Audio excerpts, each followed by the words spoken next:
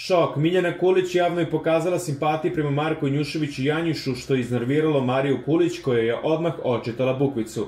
Rekla se Đedoviću to kao da se svima rekla. Nemoj sebe da blamiraš, vikala je Marija na nju. Maja je se svima mešala u vezu, sada ću malo ja da se mešam da vidi kako je. Igram igru. Sprdam se, rekla Miljana. Ti nisi Maja, ti si majka i sestra, ne lupe gluposti, nastavljala je Marija.